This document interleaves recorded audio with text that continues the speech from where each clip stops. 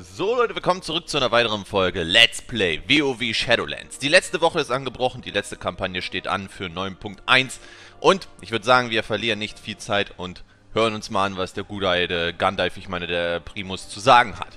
So, ich fürchte, unsere Pläne so weit aufzuhalten wurden veraltet, Sterblicher. Jemand hat ein Portal in ein verbotenes Reich geöffnet und der Verbannte hat eine Macht wiedererlangt, die ihm vor langer Zeit genommen wurde. Ich spüre, dass eure Verbündeten aus den Sammlungen der Herrschaft zurückkehren. Ich muss ganz genau wissen, was dort geschehen ist. Ah, okay, das ist also nach dem Raid quasi. Alles klar. Nach dem Raid.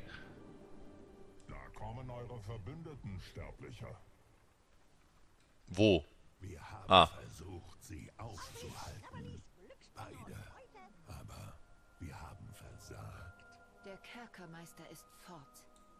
Und er hat Anduin mitgenommen. Der Tag, den ich so lange gefürchtet hatte, ist schließlich gekommen. Okay. Ah, okay, da wird das Cinematic gezeigt. Leute, ich überspringe das Cinematic, weil, äh, ja, ich sag's mal so, jeder, der es gesehen hat, hat es bestimmt schon mal gesehen. Ähm, hm, hm, hm. ja, das ist natürlich nicht so gut. Ne? Jaina scheint traurig, aber fest entschlossen. Es gibt immer noch Hoffnung. Bevor Anduin den Kerkermeister durch das Portal gefolgt ist, ließ er etwas fallen.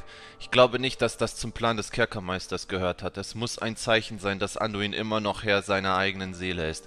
Jaina öffnet ihre Hand, um euch einen goldenen Kompass zu zeigen. Das hier war Anduin sehr wichtig. Ich fühle darin seine Anwesenheit. Wir müssen herausfinden, warum er ihn für uns zurückgelassen hat.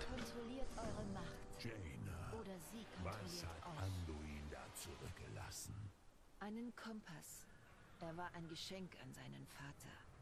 Varian hatte ihn bei sich, kurz bevor wir die Legion an der verheerten Küste bekämpften. Ich glaube nicht, dass Anduin ihn versehentlich fallen gelassen hat. Er muss gewollt haben, dass wir ihn finden. Als Zeichen, dass ihn die Macht des Kerkermeisters nicht ganz übernommen hat.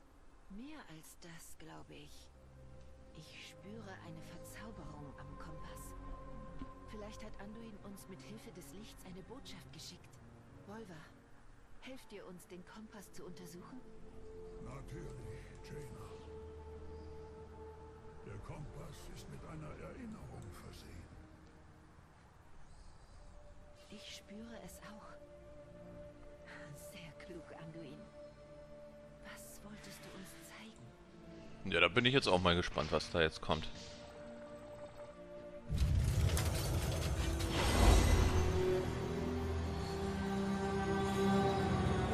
Die Schlacht beginnt sehr bald. Ich kümmere mich um die Eindringlinge auf Torgast. Später in Oribos verteidigt ihr Soval, während er das Ritual beendet. Ihr meint, er zwingt mich, ihn zu verteidigen. Wann immer er mich beherrscht, spüre ich, wie ich mir von mir verliere. War es so, als Arthas euch wieder erweckt hat? Sylvanas? Hol? Lea? Alles, was ihr einst wart, von Dunkelheit verschlungen. Ja, junger Löwe. Aber am Ende werden unsere gebrachten Opfer es wert gewesen sein. Wenn der Kreislauf von Leben und Tod gebrochen und neu erschaffen ist, dann... Bis dahin werde ich verloren sein. Und ihr ebenso. Ich hoffe, meine Freunde erinnern sich daran, wer ich war. Nicht, wozu ihr mich gemacht habt.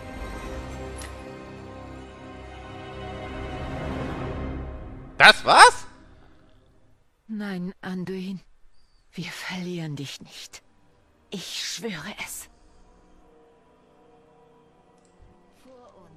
Tränen laufen über Janas Gesicht. Wir dürfen ihn nicht verlieren, Arioch, um keinen Preis. So, erneuerte Pakte. Wir haben uns darauf konzentriert, dass der Kerkermeister nicht die Barriere um den Schlund durchbrechen und in die restlichen Schattenlande einfallen kann. Stattdessen hat er den Schlund selbst erweitert, um Oribus zu verschlingen und das Siegel der Richterin an sich zu reißen. Ich verstehe noch immer nicht ganz, was wir an der Spitze von Torgas gesehen haben, aber der Primus tut das ganz sicher.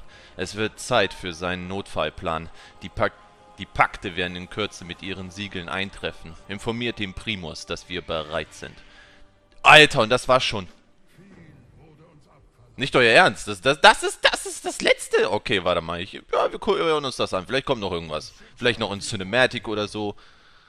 Soval mag die Schlacht gewonnen haben, nicht aber den Krieg. Ein Ziel vereint uns und gemeinsam wird der Sieg unser sein. Pakte der Schattenlande, tretet vor.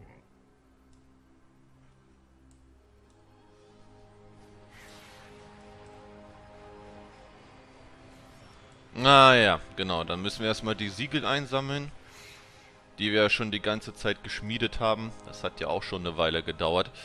Das war ja eigentlich der ganze Grund für unsere ganze Kampagne, die wir hier gestartet hatten. Eine Weile hat es ja gedauert. Mal gucken, was er jetzt daraus bastelt. Er meint ja irgendwie einen Schlüssel oder so. Wenn ich mich nicht recht entsinne, hat er mal was davon erzählt. So, ich gebe dir jetzt das Siegel. Was machst du jetzt damit?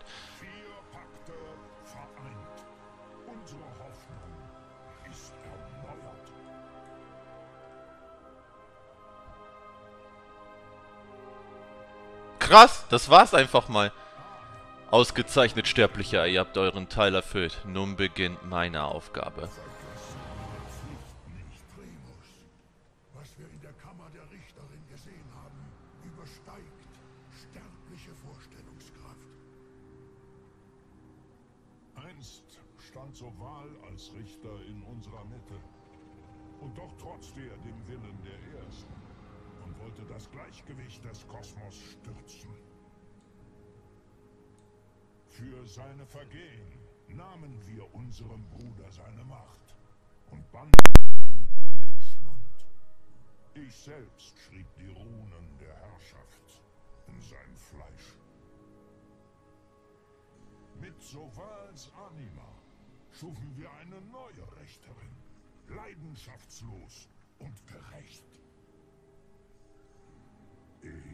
Hätte ahnen sollen, dass er den Kampf um seine Macht nie aufgeben würde und seine Pläne bis zum bitteren Ende verfolgen würde.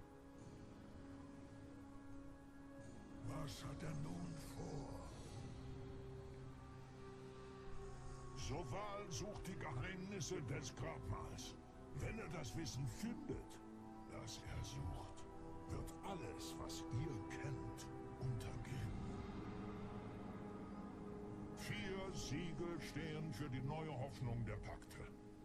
Mit ihnen werde ich einen Schlüssel schmieden. Noch etwas muss das Siegel der Richterin ersetzen. Greift die Schlundgebundenen weiter an. Wenn der Schlüssel fertig ist, rufe ich euch.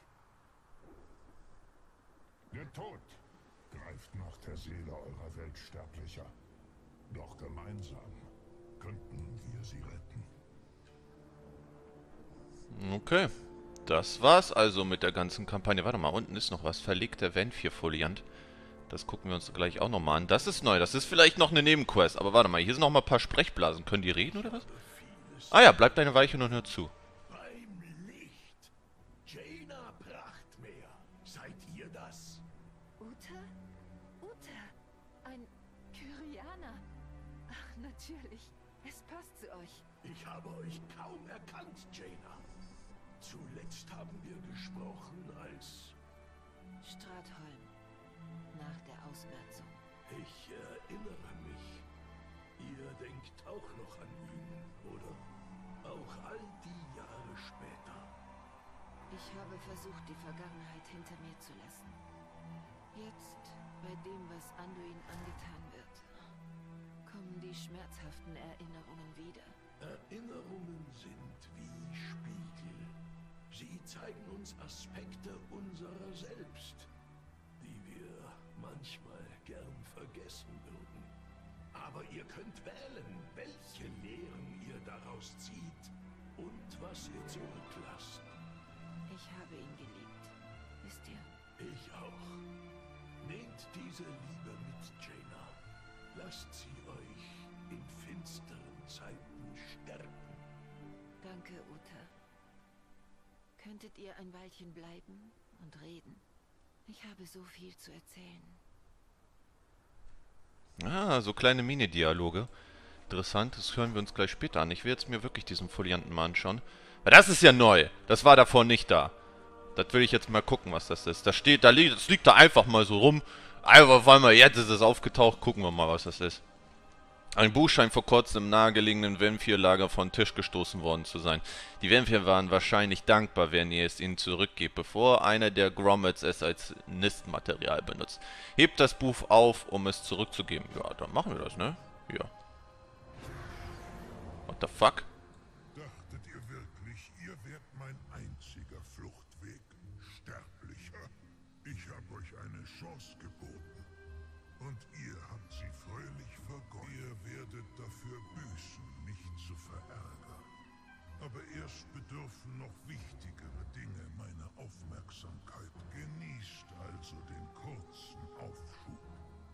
Ist der letzte, den ihr erleben werdet. Also er ist jetzt entkommen oder was? Ja, toll. Scheint, als hättet ihr und Malganis noch eine Rechnung offen. Ihr seid euch sicher, wenn ihr euch irgendwann dem Kerkermeister stellt, wird auch der Schreckenslord dort sein. Also, äh, Raid-Boss confirmed. Ne? Das wird wahrscheinlich so einer der Raid... Oh, da hinten sind noch mehr. Aber, Leute, ich, ich, das gucke ich mir einfach mal privat mal an. Wobei, warte mal, ist das, ist das Darion? Oh, das höre ich mir doch an, jo. Ich, es ist ja noch mit Zray und Drag, aber das möchte ich mir anhören. Wir wurden so lange geteasert, dass die endlich mal reden sollten und jetzt ist es endlich soweit. Tyrion Fordring hat also in meiner Abwesenheit den Aschenbringer aufgenommen? Kaum einer wäre würdiger. In der Tat. Er hat sich dem Lichtkönig im Kampf gestellt und Frostgram selbst zerschmettert. Und doch wolltest du ihn in den Untod erheben. Weshalb willst du ihm die verdiente Ruhe verwehren? Ich habe Tyrion einst gesagt, dass nur eine silberne Hand eine schwarze Klinge führen kann. Wir brauchten einen vierten Reiter, einen, der die anderen führte. Er schien die richtige Wahl zu sein. Wie es scheint, hat das Schicksal sich anders entschieden. Das sollte nicht mein Erbe an dich sein, Darion. Du hast mich gelehrt, zu verteidigen, was ich liebe. Dieses Erbe führe ich mit Stolz fort. Oh. Aber da, da, das sind so die Momente, die ich auch äh, momentan an der Geschichte auch geil finde. So die ganze Sral Draka Sache und, und, und die ganzen anderen Geschichten, die wir hatten. Auch äh, so, wenn man mal auch abkoppelt und guckt, so zum Beispiel die ganze Revendraft Geschichtsstrang, die wir da gemacht haben, fand ich auch geil, äh, ganz cool und hat Spaß gemacht. Und ähm, ja, das war es erstmal so mit der ganzen Kampagne an sich. Ich werde mir das jetzt nochmal privat anhören, das sind halt nur so kleine, nette, interessante Geschichten. Aber ansonsten werden wir uns erst im nächsten Patch wiedersehen. So, und ich würde sagen, bevor wir gehen, ein kleines Abschlussfazit zu der momentanen Geschichte, wie sie nun mal ist. Ich werde mich kurz halten, ich will nicht zu weit ausholen, aber bis jetzt bin ich enttäuscht von der Geschichte. Muss ich fairerweise sagen, ich finde sie nicht spannend. Ich hatte echt erwartet, vielleicht in 9.1 kommt jetzt noch irgendwas krasses, was uns so ein bisschen vielleicht noch äh, den Kerkermeister näher bringt, dass wir ähnlich, so weißt du, wie man so aus Serien, Animes oder so kennt, dass man so ein bisschen mehr vom, vom, vom Schurken kennenlernt, so ein bisschen mehr zu verstehen beginnt, warum er das alles macht, dass man so eine gewisse Sympathie zu ihm aufbaut. So, das war ja auch mit dem Lich King so, auch weil man ihn aus Warcraft 3 kannte, dass man wusste, was er durchlebt hat und dass man da gedacht, sich gedacht hat, oh scheiße, Mann. Ja, kann ich verstehen, warum du so geworden bist, wie du geworden bist. Aber bei dem verstehe ich einfach null. Momentan ist die Story einfach für mich kompletter Bullshit. Weil ich wirklich sehr, sehr viel nicht verstehe. Und das, obwohl ich, und das muss man fairerweise sagen, alle Hauptquests, alle Hauptquests habe ich gelesen. Aufgesogen wie ein Schwamm. Natürlich habe ich ein bisschen was wieder vergessen, aber ich check's nicht. Ich muss wirklich super viele YouTube-Videos von Craft oder anderen Leuten angucken, damit ich überhaupt verstehe, was da abgeht. Also den, das grobe Pr Prinzip verstehe ich ja, aber die ganzen so netten Details und die Kern, warum, weshalb, wieso, warum Silvana so ist und auf einmal äh, kurz vorher Sinneswandel, Kerkermeister, keine Ahnung, warum er sie gebrauchte. Warum macht er das? Keine Ahnung, warum er das macht. Das ist halt das, was mich so ankotzt. So und, und nicht zu und zu un, also was heißt nicht zu unrecht. Zu Recht wird das momentan die Story so so ein bisschen wie Avengers Infinity War und der andere Avengers-Film verglichen. Das aber in wirklich richtig, richtig scheiße mit den Siegeln, dass er irgendwie die Realität und das Ganze alles wieder un, so nochmal umändern möchte, so wie, so wie ein Thanos halt aus, aus Avengers, ne? Aber es ist einfach null spannend, null interessant und ich check es nicht. Man checkt es nicht. Ich, ich, das ist halt leider so. Das ist so, als würdest du wirklich auf Wish einen Avengers Infinity War äh, Film bestellen und dann kriegst du das hier serviert. So eine Kacke kriegst du serviert. Also ich meine, ey, ich will ja nicht meckern so. Ich, ich freue mich, wenn es Leute gibt, die sagen, ey, ich finde die Story geil, es macht Spaß so. Aber für mich persönlich ist es nichts. Ist wirklich nichts. Das ist, das ist mir viel zu viel Mysterien, nichts Festes, keine festen Antworten. Die ganze Zeit, ja, vielleicht da. Ah, ja, da ist auch noch was. Ah, da ist auch was. Aber wir, wir verstehen nie, worum es wirklich so geht, warum das so ist, wieso Sylvanas so ist, warum der Kerkermeister äh, sein seine Pläne verfolgt. Wir haben jetzt gerade erst erfahren, warum er überhaupt das macht, was er macht. Und das war auch nur mal kurz in den Nebensatz erwähnt. Anstatt, dass man vielleicht ein paar Quests bekommt, wo man ein bisschen mehr kennenlernt, wieso, weshalb, warum. So, das, das, das ist das, was mich halt persönlich stört. Und da muss ich auch fairerweise sagen, da fand ich Battle for Azeroth viel besser, was Story angeht. Klar, man kann da Sylvanas wieder ausklammern mit ihren 3D-Schachspiel, dass sie da irgendwie Meta spielt. Aber so an sich war es wenigstens eine verständliche Story. Ich musste nicht so viele YouTube-Videos angucken. Ich habe einfach nur die Texte gelesen und ich habe grob verstanden, worum es geht, wieso das passiert, was die Charaktere denken, wieso sie so handeln und so weiter und so fort. Aber hier ist das wirklich, ich muss wirklich super viele Videos gucken. Und das, und das sehe ich nicht ein. Also ich tue es trotzdem, damit ich überhaupt irgendwas verstehe. Aber ich meine nur, es muss eine Story sein, die ich verstehe, wenn ich es lese und aufpasse und mir Notizen mache oder sowas der Art. Aber hier ist es halt so. Und ich bin enttäuscht. Ich dachte, das wird wirklich mit 9.1 besser und sagen wir mal so, dass die ganzen Sachen, die momentan bei Blizzard abgehen, so mit den ganzen, ja, ihr wisst es ja wahrscheinlich, mit den ganzen, ähm, Sachen, die so im Hintergrund abgehen. Viele Leute werden gefeuert. Jetzt gab es so einen äh, Sexualskandal, dass da weibliche Mitarbeiter sexuell belästigt wurden und, und noch mehr und noch mehr und noch mehr. Das macht es alles nicht besser. Ähm, aber ja, was soll ich sagen? Ich hoffe, ich hoffe wirklich, dass die 9.2 irgendwie das nett zu Ende bringen, weil ich bezweifle, dass wir 9.3 bekommen werden. Mit der Einstellung momentan, die die Spieler so gegen dieses Add-on haben, weil viele Leute finden es einfach nicht geil. Und äh, wie gesagt, das mit diesen Infinity War und Fairness und dass der Kerkermeister so eine billige Wish-Kopie ist, ich bin nicht der Einzige, der so denkt, ihr könnt ins Internet rausgehen, da werdet ihr genug Leute finden, die das ähnlich sehen. Aber das ist so meine Meinung. Ich bin nicht begeistert von der Story, aber ich freue mich für diejenigen, die wirklich ihren Spaß daran haben. Und ansonsten würde ich sagen, Leute, sehen wir uns dann in der nächsten Folge wieder, wo wir dann äh, hoffentlich mal 9.2 eine etwas bessere Story serviert bekommen oder vielleicht, besser gesagt, einen schönen Abschluss bekommen zu der Story. In dem Sinne, Leute, sehen wir uns dann das nächste Mal wieder. Bis dahin, see ya.